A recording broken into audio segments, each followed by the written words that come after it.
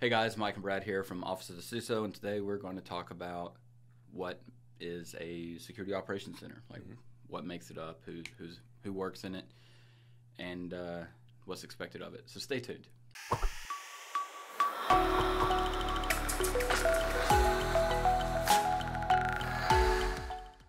All right, guys. So more companies than you would probably believe are actually in the infancy of their information security program. And so a big part of what that is is developing the various parts of an ISO group or an information security office. Um, obviously, a very, very big part of the information security office is the security operations center, right? Yep. And you would be surprised at how many folks don't truly know what goes on in a SOC Yep, and what that that's what we're going to discuss today. So, um, we've both had plenty of opportunities to build up several SOCs Yeah. across larger organizations, right? So, so Brad, in the security operations centers that you've built, um, what purpose do they serve for the organization, and um, what kind of employee worked in it? Yeah. you. So, uh, so the purpose a lot of times is to start with requirements. Um, the the security operations center is going to help an organization operate its security. I mean, uh, that's of course a ten thousand foot phrase, but it's a very ten thousand foot. Right, right. But what I mean by that is the, the, the organization is going to have requirements that are going to come from somewhere, either from the industry or from a, a regulatory body or something. So the starting point of any security operations center is going to be requirements. Um, a lot of times that looks like uh, logging and auditing and turning those into useful reports that let you understand what's going on in your env- environment, um, maybe figure out what normal is so that when something that happens outside of normal, it alerts you.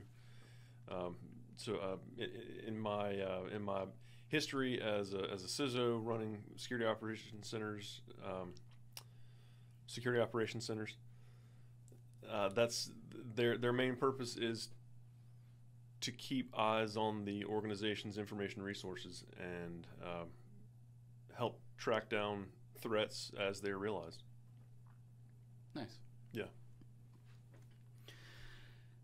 My experience is very similar. So I've built several at the state level, um, de- developing basically security operations centers that their primary focus is to um, observe events as they come across the network and then triage and mitigate as necessary, right? Mhm. So, uh, as far as the type of people that you'll see in a security operations center, right? You're going to see your cybersecurity engineers, you're going to have uh, frontline analysts, you know, the guys that are sitting there looking at the logs and the alerts and, and passing them up through the chain as, Right. as they're found, right? And then, uh, of course, you got to have someone to help run the thing. So you got your security operations center manager.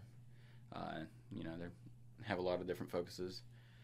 So, Brad, you mentioned that before you build a security operations center, the first thing you need to really look at is requirements. Right.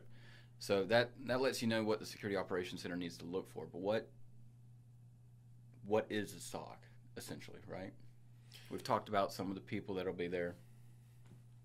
Yeah, yeah, yeah. So when you walk into a SOC, one of the first things you'll notice are monitors on the walls. Typically, that's monitors on the walls, and then a bunch of people sitting out at desks looking at computer screens. So it looks like a call center, honestly.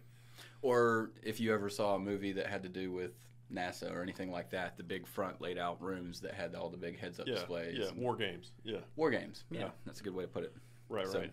Um, so that's what they look like when you step into one. But a uh, the typically the, the people that are in there doing all this work are pretty highly specialized individuals with amazing attention spans because they're digging through tons and tons of detail all day, every day, eight to ten hours a day, um, looking at all the things that nobody else wants to look at and trying to make sense of them, basically to, to paint a